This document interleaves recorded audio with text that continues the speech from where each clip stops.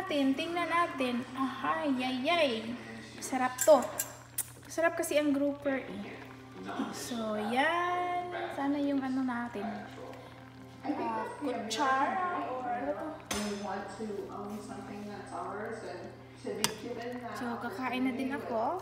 Mga 10.38 p.m. na. Tapos pagkatapos ng kumain, natulog.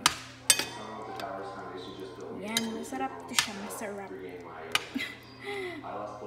Kain na tayo, let's eat.